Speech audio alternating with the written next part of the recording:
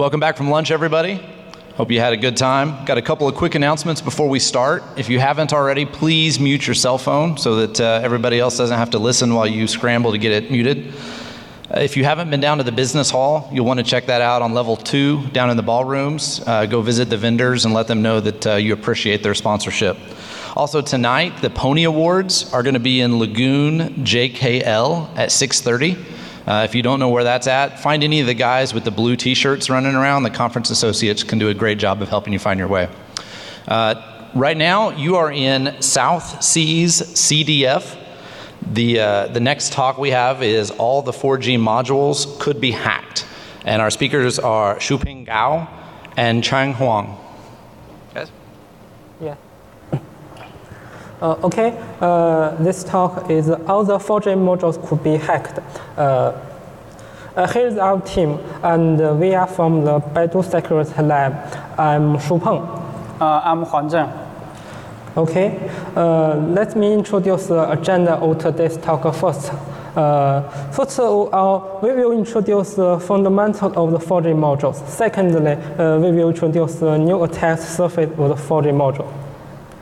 And thirdly, we discuss what uh, needed to be done in order to carry out a successful attack. For example, obtain the firmware or get a root shell and some. And fourth, we will talk about uh, various ways to discover the vulnerabilities. And last, we will provide some better defense practice based on our experience. Uh, okay. Uh, this uh, picture showing more than 50 various 4G modules and devices we have studied. The two row about, about some 4G routing devices and some vehicle 5G uh, devices. Yes, many vulnerabilities of the 4G module we mentioned today also exist on 5G. Uh, in the middle, there are some car T-boxes and some portable Wi-Fi devices. Uh, down the bottom, there are all kinds of brand of 4G module, about 30 can. Uh, most of them are PCI interface and LCC packages.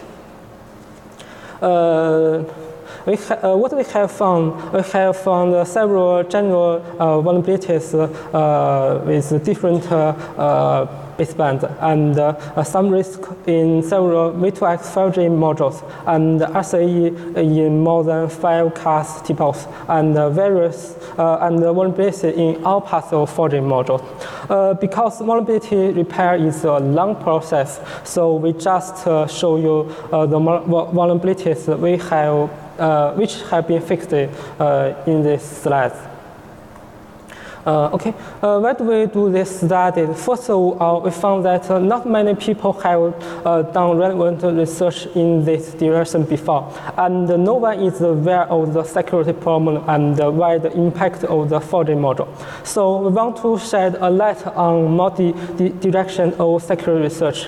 For example, cars now have, uh, have the networking functions, but it seems that no one has attacked the T-box or, or called TCU. Uh, there are also security issues with the baseband. Uh, baseband security is really important. Researchers usually talk about the baseband security of Qualcomm and Samsung. Uh, in fact, there are many other baseband chips, uh, such as Intel, Huawei, ZTE, MTK, Marvell, U-Blox, and uh, uh, so on. And compared uh, with mobile phones, uh, it's easier to analyze through the 4G module. Uh, so we will also introduce some new and uh, effective attack surface and uh, method. Uh, in short, the goal of the slide is not only to introduce some special uh, vulnerability of the 4G module, but also to provide you with some new ideas and methods for a successful attack. Uh, we can see the 4G module everywhere. Uh, IoT devices could connect to the internet through the 4G module. Uh, for example, uh, we can control our car remotely by the app. Uh, it seems the communication system of the car is online all the time. Maybe some process is established and maintains a long-running TCP connection. Uh, other devices such like 4G Wi-Fi, 4G router, uh, ticket vending machine, uh, our laptop, and some industrial devices, uh, even the slot machines in Las Vegas. Uh, there are mainly three interfaces. In fact, uh, in, the internal structure is the same. We will see later. Uh, on the left is a circuit board structure of the vending machine. We can see a module with PC, uh, mini PCIe interface plugged in on the right. Uh, this is actually uh, ARM process motherboard uh, running Linux or Android system. On the right is Tesla Model 3's 4G module, uh, which implements uh, navigation, mobile, remote control system upgrade, and other functions. The module is attached directly to the motherboard. Uh, in this slide, on the left is an industrial 4G router. We can see that there is a mini PCIe interface module on the motherboard. In fact, it's a common router as a slot to implement the function of uh, internet access.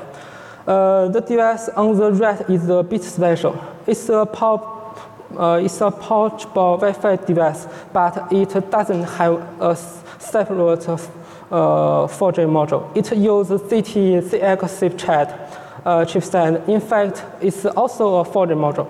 A chip in the module is attached to the PCB board, uh, which implements networking, uh, driving Wi-Fi, running HTTP service, and other functions.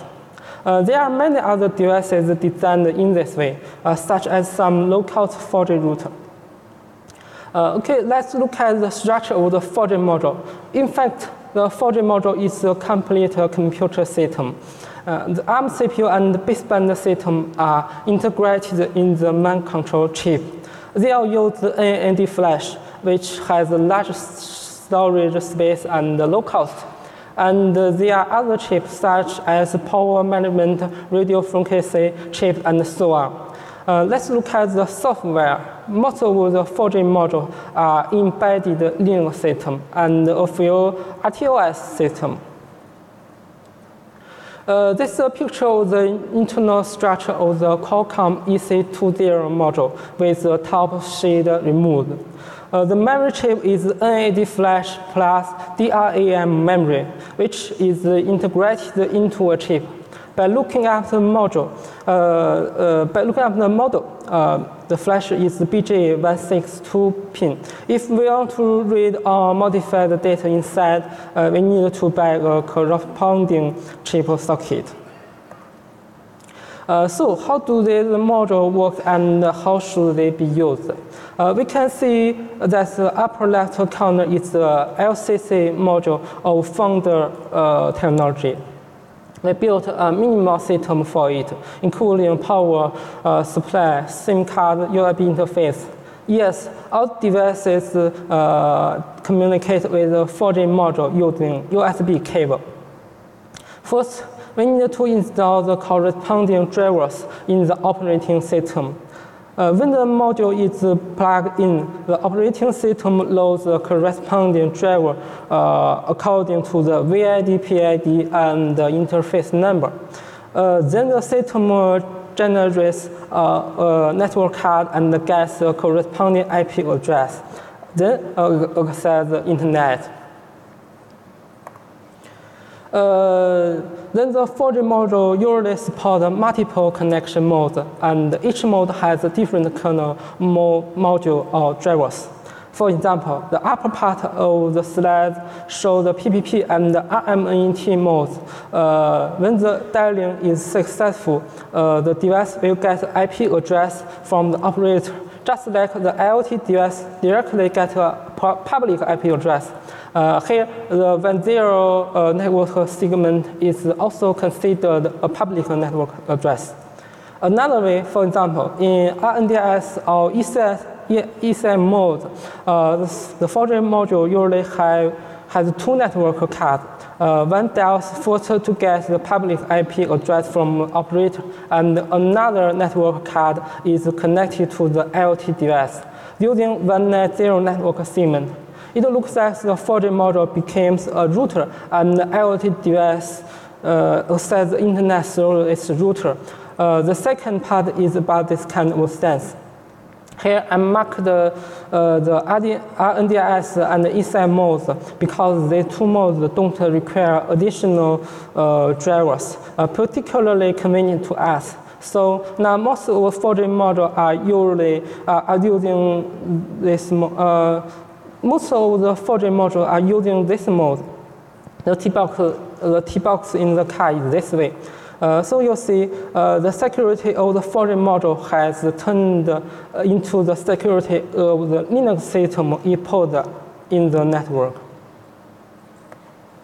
Okay, uh, let's introduce some new attack surface. Uh, as we said earlier, that most of the 4G modules have, were embedded in the system.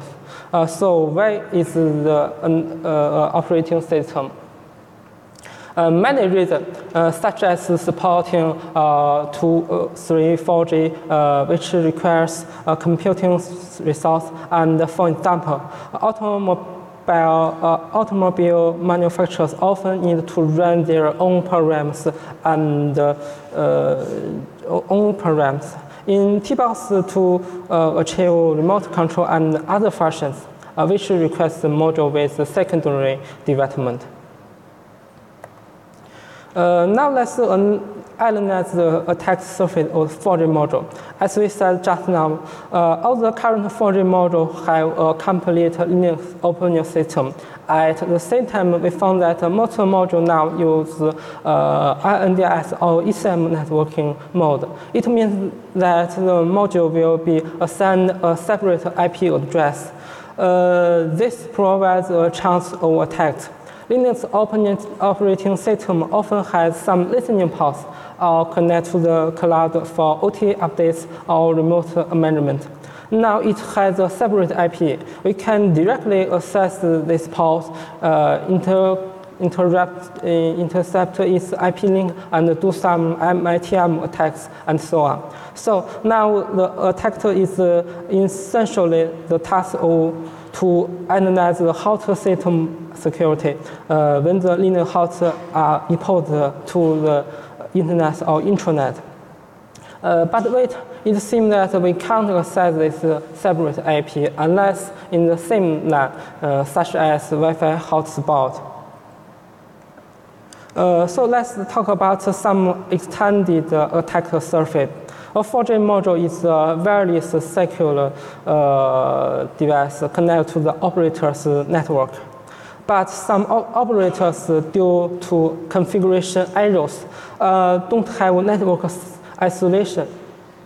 Uh, so client can access the IP of other device. And all these 4G modules support 2G GSM mode, because of the security problem of GSM, we can use the fake base station to monitor and modify traffic. So uh, also can obtain IP links and access ports. And there are also many third-party services added to the mod module, such as the car control service. Uh, let's uh, summarize the, uh, the attack ideas. First of all, we need to collect enough information and deploy it uh, and exploit vulnerabilities through uh, shell, firmware analysis, network analysis, and so on. Then uh, maybe a lot of reverse engineer work here, mainly analyzing the, the process of various listening ports. Uh, then we need to consider how to run our attack code, and uh, we introduce the traditional traditional methods, many in LAN network, such as Wi-Fi hotspot to access the port uh, of the 4G module to attack. And uh, the new attack method, uh, we can use the correct configuration of the operator network to transform the local LAN attacks into a very wide range of remote LAN attacks, which can generate uh, increase the scope of attacks. Uh, in addition, because of uh, 2G support, we have a way to full control the IP link to the nearby 4G module. We can directly access its port and run our attack code. With these uh, attacking ideas, it seems very easy to attack the 4G module. Okay, uh, let's first talk about uh, using fake base station to attack. Because client can't identify whether the base station is real or not in GSM network, uh, we can build a fake base station system to detect and control traffic. Uh, interestingly, this attack is effective for all 4G modules, and the problem will, will proceed for a long time, regardless of whether the operator shut down the 2G base station or not. Uh, it's too difficult to build a fake base station, but uh, previously people have not solved the problem of uh, auto attachment. If it doesn't attach automatically, clients need to select to the fake base station manually. Um, inspired by Studio base station in China, uh, we can improve the C2 uh, parameter, uh, parameter in, GS, in GSM broadcasting channel, and the client will automatically connect to our fake base station.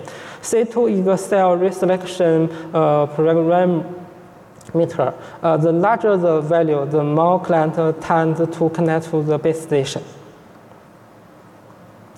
Uh, we can build uh, our fake base station via software radios such as Blade RF and BTS system. Uh, but uh, we need to trans change the value of C2. Uh, this parameter is not set in EIT So let's hard decode it in the source code.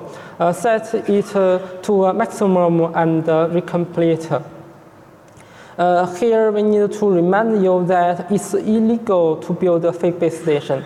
Although this attack is very effective, uh, you can test in the sheet box and show in the finger on the right. Uh,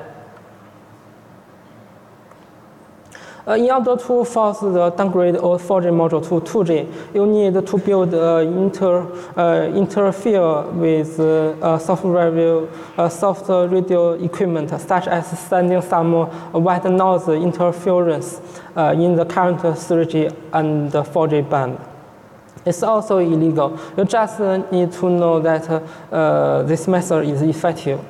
Finally, the 4G module automatically attached to our base station, like a Whirlpool. Uh, the lower right finger shows that the C2 value is already very high, uh, usually around 70. So now we can now fully control the IP link, uh, monitor all the IP data transmission, uh, set the point, write our point, and uh, modify the date. The most common approach used is to access the ports, such as SSH and other services. Uh, now let's talk about attack through operator operators intranet.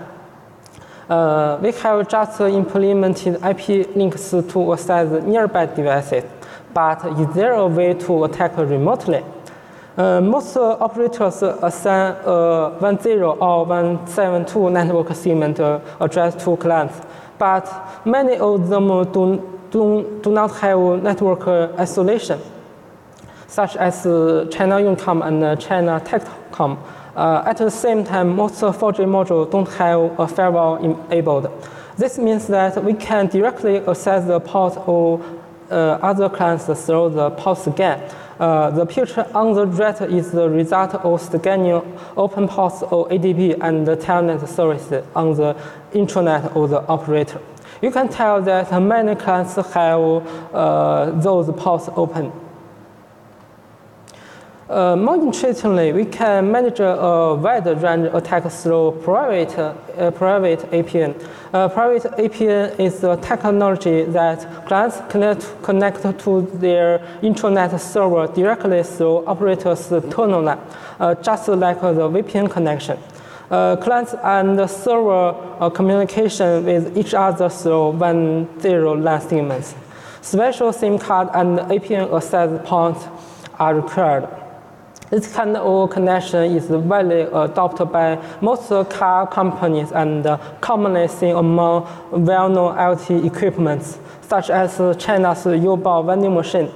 And uh, clients in this uh, intranet are equipped with the same type or made by the same company. So we can look for uh, vulnerability in such device, then launch a massive attack. As a result, uh, we gain full control over all these devices. Uh, so how can we get the configuration of the APN access point? Uh, for example, through firmware analysis and log analysis. And how to connect to the target private APN network? We can detach the eSIM chip on the motherboard, then attach it back to our 4G module, and uh, use the AT command to configure the correct APN access point. So now we can connect to the manufacturer's private APN network and start the post scan and hack. Uh, I just uh, introduced some new attack surface. Let's implement the attach preparation work. Uh, to get ready for a successful attack, you need to complete at least one of the following. Uh, get the firmware, get the shell, and obtain network traffic. Uh, in general, getting the shell is the most initial. And uh, after getting the shell, it's easy to get firmware and the network data. But sometimes it's not uh, always possible to get the shell. Uh, let's talk uh, closer to look at how to achieve it. Uh, first, I will introduce several methods for obtaining, uh, obtaining firmware. Uh, if this method don't work, there is the ultimate method, NAND flash dump. Uh, we can get the firmware by downloading the firmware update program from the official website and unpacking it. Uh, the finger shows the firmware update program of a well-known 4G Wi-Fi device. Uh, we easily get uh, the Linux, Linux system uh, partition, uh, partition inside by unpacking the exe file uh, with binvoc. Uh, the firmware can be obtained through the manufacturer's upgrade tools. Most manufacturers have provided upgrade tools to the developers. For example, Qualcomm's module have uh, a 908 recovery mode, which is uh, set by short uh, circuit some solder points. We can get the update tool from uh, vendor touch support, uh, which, which uh, initialization files for all partitions. Uh, we can see that uh, the tool contains the initial image of all partitions. We need to focus on system.img. Uh, this file use, uses the UBIFF, UBIFS file system. We can use the UBI reader to, to successfully extract the file format and get the uh, final Linux file system. Uh, if we uh, if we can't get uh, upgrade tool, there is the ultimate solution, NAND flash dump. Uh, NAND flash uh, is more uh, uh, complex to read and modify than eMMC flash. A lower right corner chip is a common BGA63 chip. It's very small and needs a special NAND programmer to read and write. Uh, after dumping the chip, we can use the binvoc to uh, identify the field system. Uh, let's introduce how to get the shell. Uh, where do we want to get shell? If we can get shell, we, uh, it will be more convenient for us to view uh, process files, network, and debug vulnerable programs. Uh, it's very interesting that many 4G modules uh, use the common password, OE Linux 123, and uh, in this, in sometimes the password may not be required. Uh, in addition to stereo port, you can also use some remote management tools such as ADB, Telnet, SSH, and, and so on. Uh, this service can be obtained by port scanning. Uh, other methods such as getting a shell from, from AT command. After the module is connected, uh, the USB interface will be virtualized with several serial ports such as DV, TTY, USB 0, uh, so which AT command can be sent. According to the manual, we can send AT command to open the ADB service, or some module could uh, execute system command through, the, through sending AT command. Uh, if none of this work, we still have the ultimate way to modify NAD flash. Uh, add a telnet process to the startup script and reattach the NAD flash back.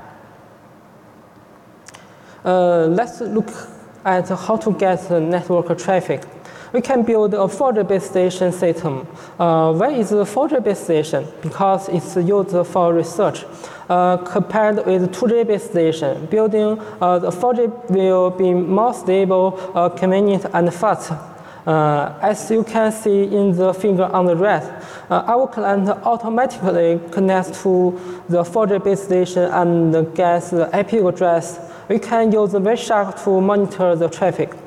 Uh, we use the uh, SRS LTE 4G base station system in this method, uh, which is much more convenient uh, installation than OAI. Uh, finally, finally, we did to uh, we need to write a SIM card. We need to buy a writable SIM card and a reader. Note that these SIM cards are only used for security testing, uh, not for other illegal things. Uh, we need to write the correct IMSI, KN, and OP to the SIM card to ensure that these parameters are the same as those in the SRS LTE. Uh, finally, we start our 4G base station, and it works perfectly. In fact, no matter whether it's a 2G base station or 4G base station, it contains a large number of configuration items.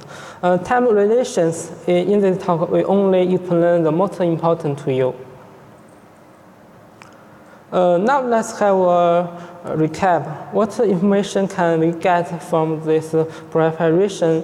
Uh, most likely, uh, the shell will be captured then the firmware system and the network traffic will certainly be captured. Uh, these are essential for the follow-up vulnerability menu. Okay.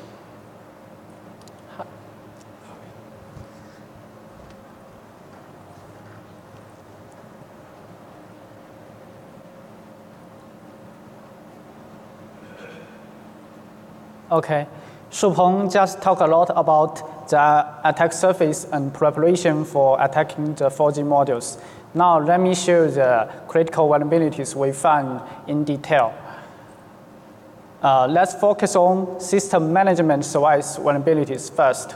Usually, 4G modules uh, run Linux system.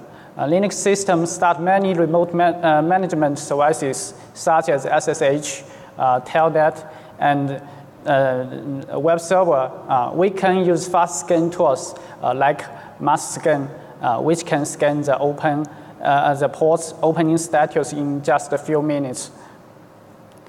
for example, we found a 4G module open port 23, which means the telnet service is started. in most cases, telnet need password to log in. Uh, we can extract uh, extract the etc password file from the firmware and then crack it by using uh, HashiCat tools. Uh, and if you're rich, you can buy a lot of GPU to speed up the crack.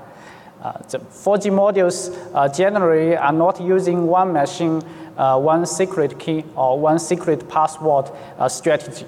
So if you successfully crack this password, which means that you have just cracked the password of all 4G modules uh, of this manufacturer. Uh, once we get the password, you can successfully log into the system remotely, uh, so that the device is ours. Uh, in addition, uh, we found that many well-known manufacturers of 4G modules uh, have open remote ADB devices by default. we only list some of them in this table. Uh, in fact, uh, some automobile manufacturers uh, also open remote ADB services by default. what's the consequence of this? We can simply use ADB tools to connect the uh, 5555 port of this module. We can simply log into the system without authentication. Usually, it has no password, uh, and we can get a shell remotely.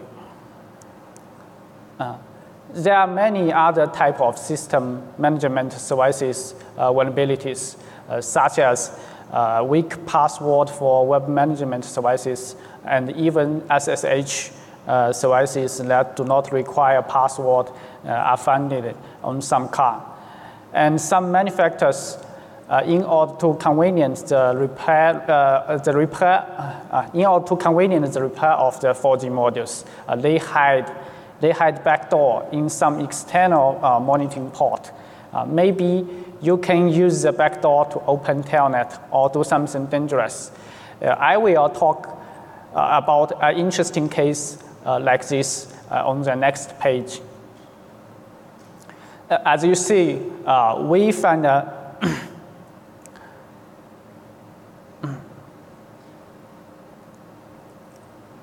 Uh, we found this, this vulnerability uh, six, years, uh, six months ago. Uh, we reported it to uh, uh, manufacturers, and the manufacturer has fixed it uh, already.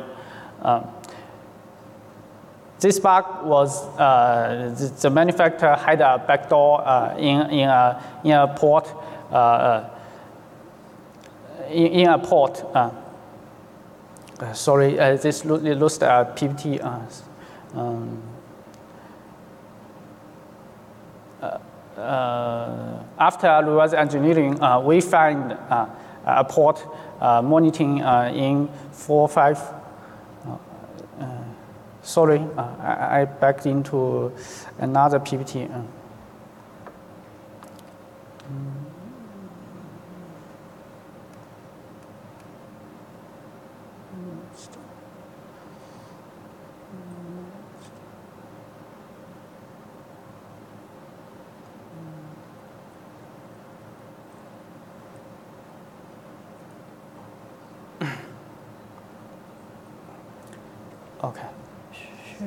我干什么？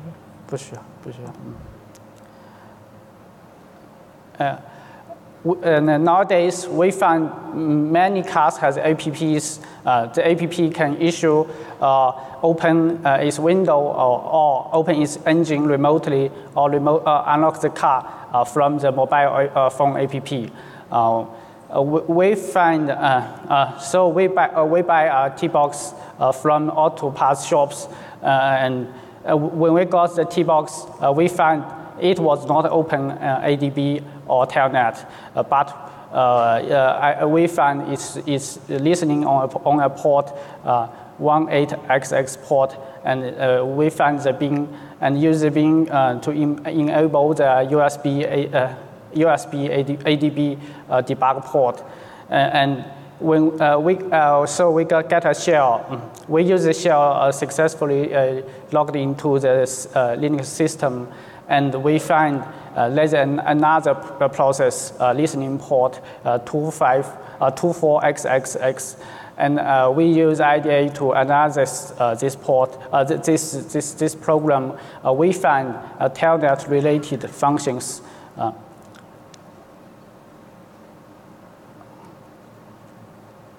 As you see, uh, we found a dangerous function. Uh, this function uh, passes the received data from the port uh, and build a command uh, to execute.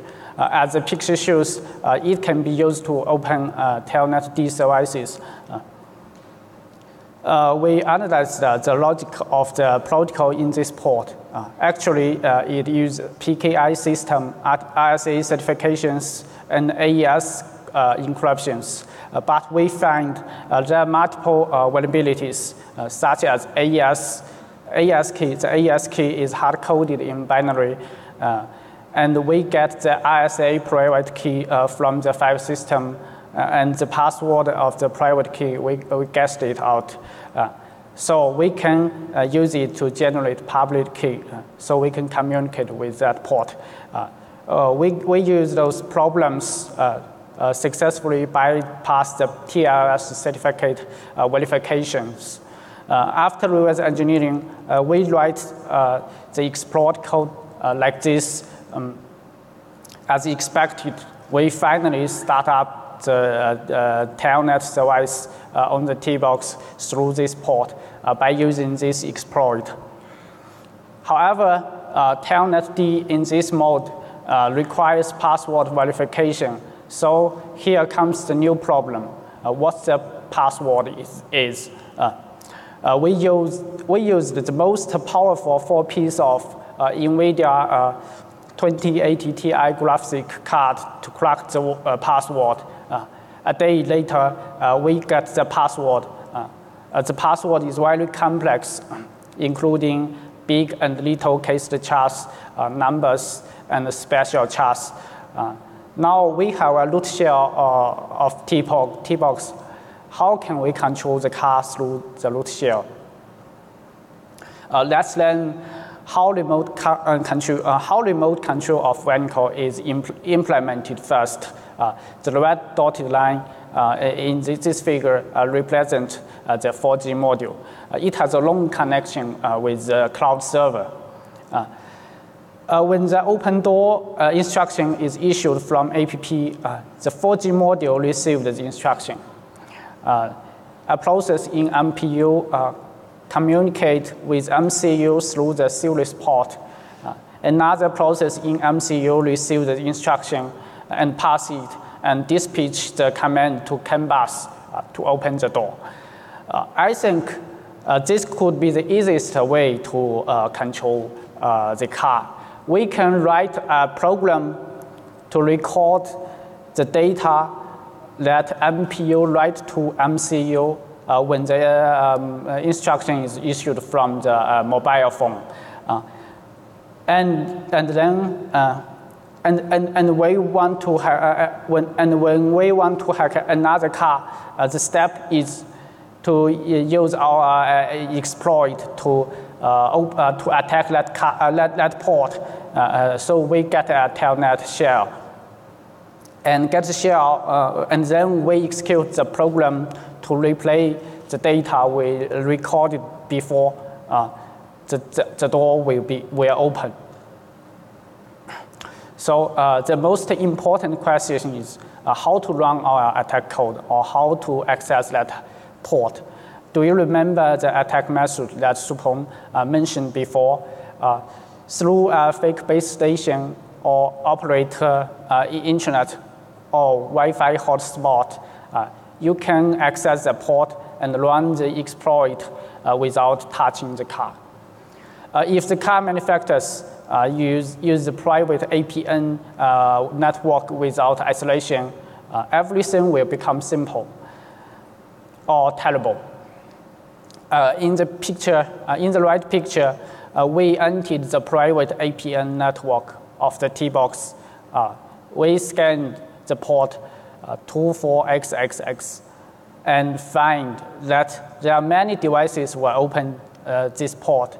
So, so we can attack many devices uh, at the same time.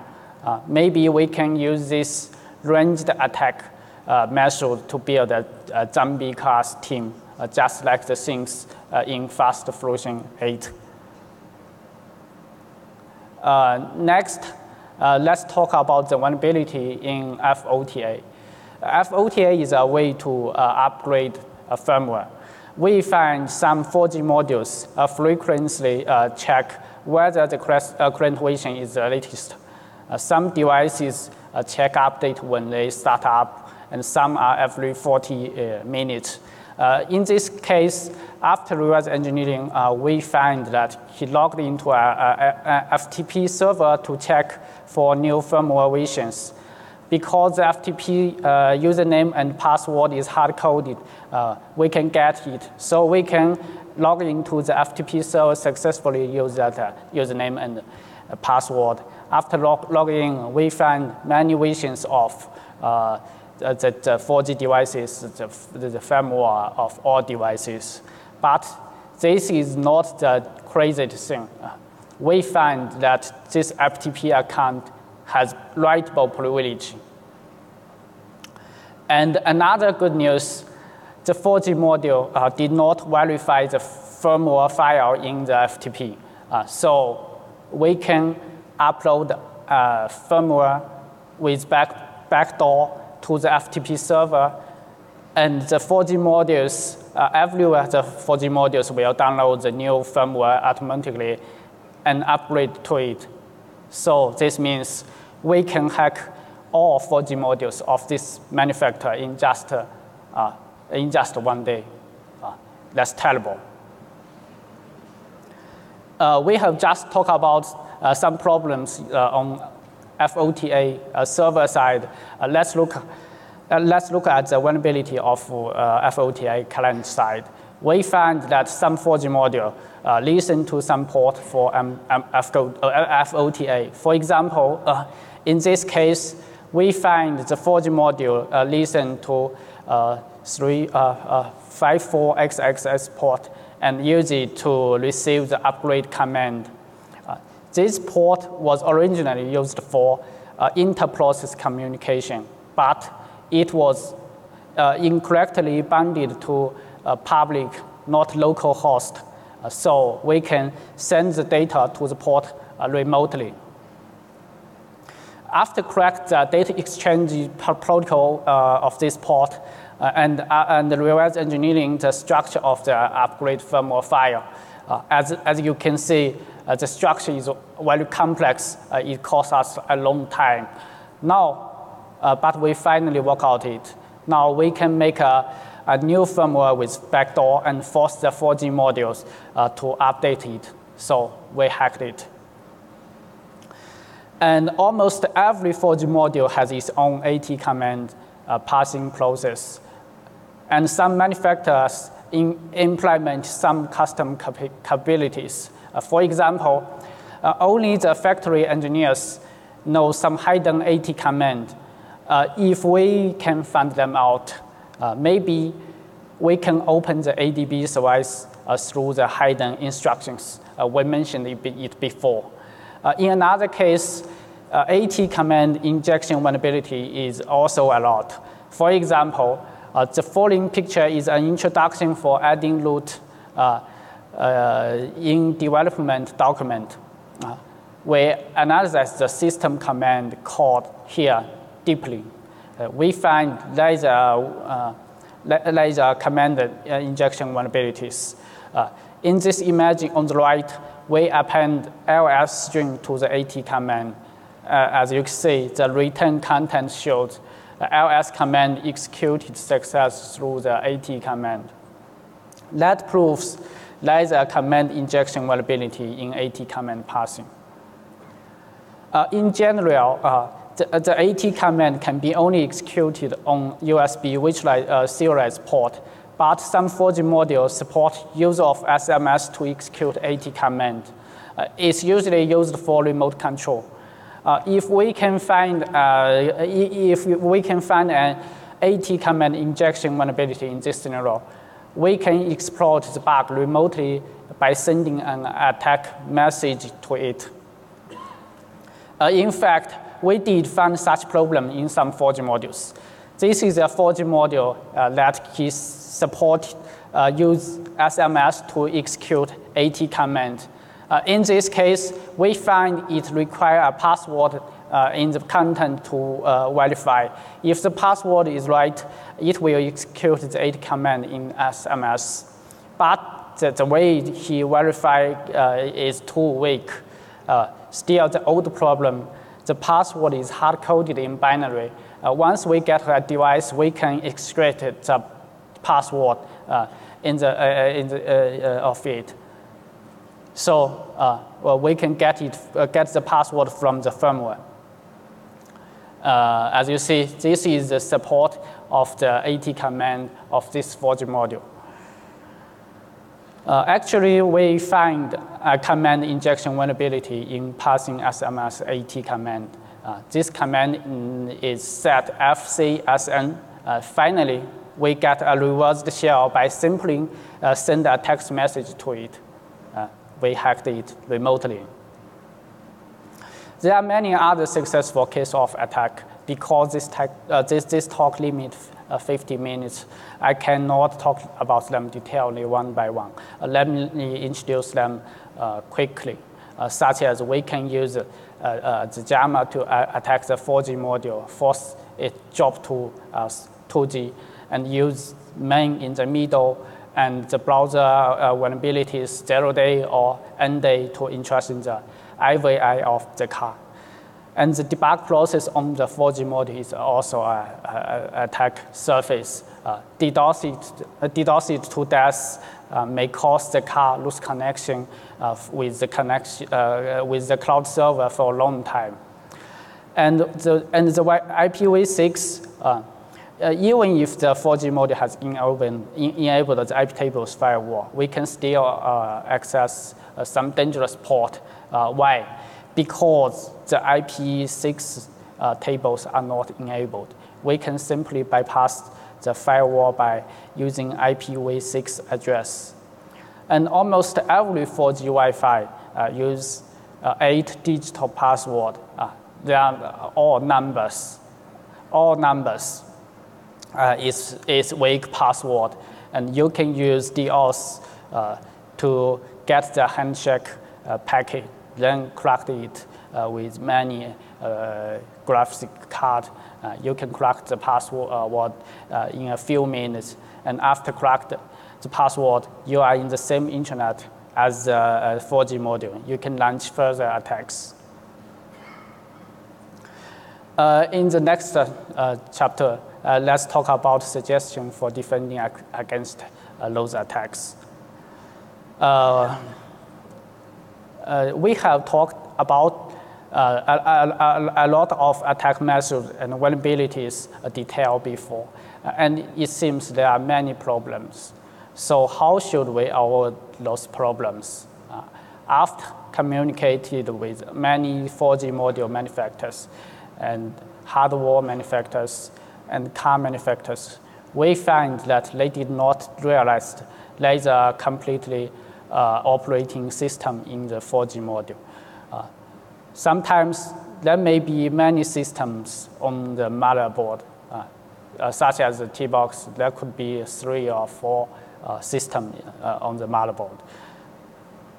Uh, so first of all, we think uh, we must identify those systems and uh, the IPs. next, we should check the listening port, especially those ports that can access remotely. Uh, we have found that many, many high-risk vulnerability in most of the listening port process, uh, if absolutely necessary. If not absolutely necessary, uh, do not listening uh, uh, port. And be, uh, be aware of the network access, access by using the 4G interface. many people think that 4G channel is secure but actually a hacker can play man in the middle easily through fake base station.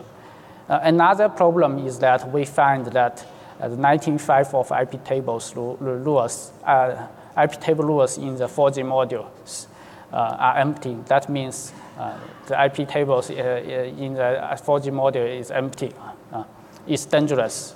So I think the simplest way to defend, defend those attacks is the development, uh, the developers should learn how, should learn how to use the firewall uh, well. Uh, that can solve 90% uh, of the security uh, uh, problem. so th this is our talk. thanks to our team member, you know, this is our teamwork. this is our talk about security research of 4G modules. I hope that our work can give you some inspiration. Uh, if you have any question, uh, you can email to us. Uh, today we, we have not Q&A uh, section because our English is not good. It is not so well. Maybe you, you, you, you answer a question, uh, we, we cannot uh, full understand what you ask and, and we cannot answer you. but if you write in email, we can understand it well and thank you for listening.